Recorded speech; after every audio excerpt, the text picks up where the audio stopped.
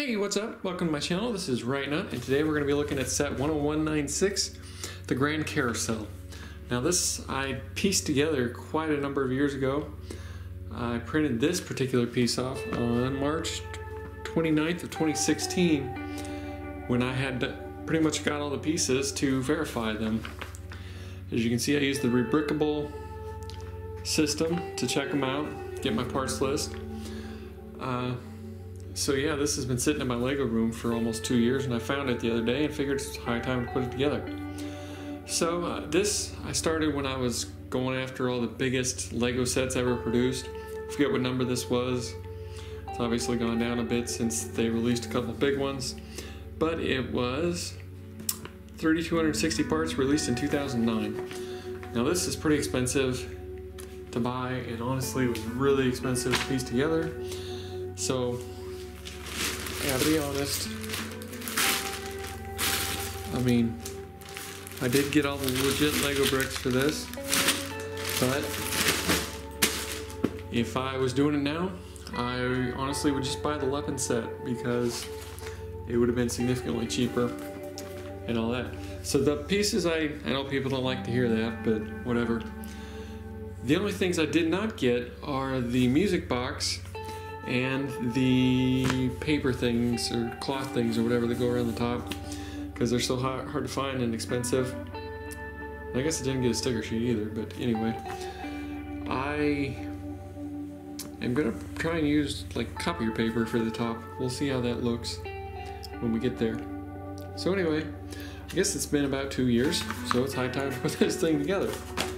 All right, here we go. Well friends, here it is all together.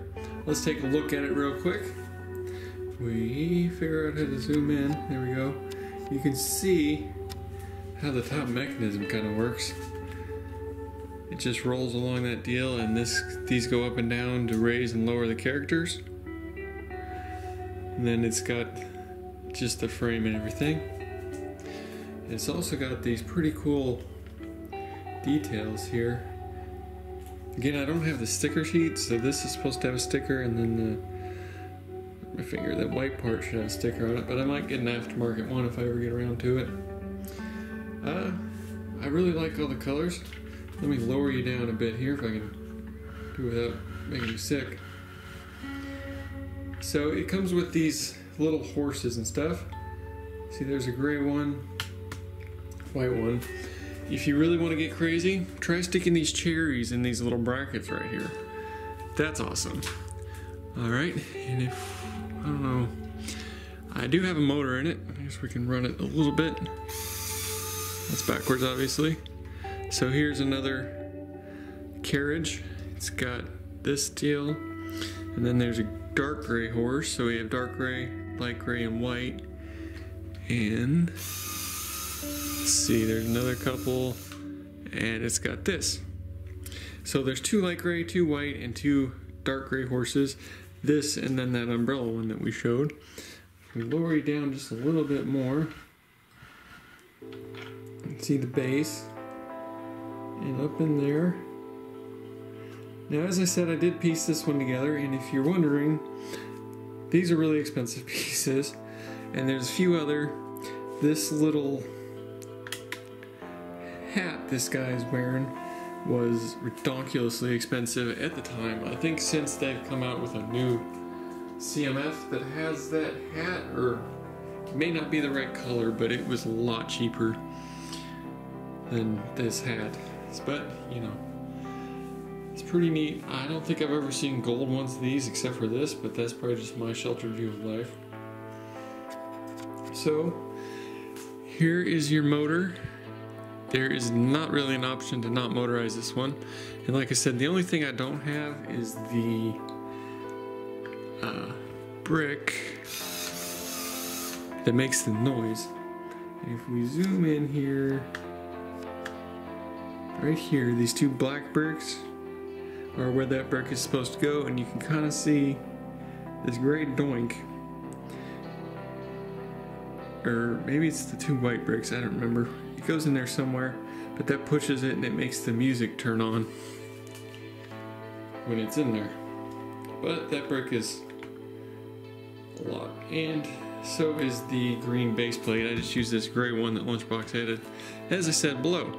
But it has a minifigure in each one of the little carriages and the operator dude here. So it goes forward and backwards, obviously, and you just push on this little doink. So it looks like the guy's doing it, and it goes really fast. Kind of the same problem with the carousel. But I love it. It looks great. And this battery pack should be enough to motorize said carousel and I was the other one, the fairground mixer, if I ever have room to set them all up. So that'll be cool. Now, as you see, I am also missing the white pieces. I said I was going to make those out of ones up here, paper, and I never got around to it. This is actually three or four weeks later than that last video. But then I realized I have this. And I looked on Bricklink, and while these pieces aren't the right shape, they are the right size. So I'm going to open this. Oh, here we go. This is a good. You see how these ones have this concave thing? The ones for this, the Grand Carousel have convex ones. Go out. So theoretically they should fit, they just probably won't cover it. So if I just cut those out and do that. So let's, let's try it. Alright, so I dug them out of there and tried to stick them on and it's not really working out, which is a bummer. The, it only come with, came with six of these versus the eight that you need for the Grand Carousel. And even though they say they're the same size, like stud wise on Bricklink, they obviously don't look like it. But you can see it looks like just horrible. So I guess I won't be trying to recreate those out of paper so they're, you know, white instead of yellow. But anyway, if you have any suggestions, if you've had to do this, let me know what you think and how you did it. I'd be very curious.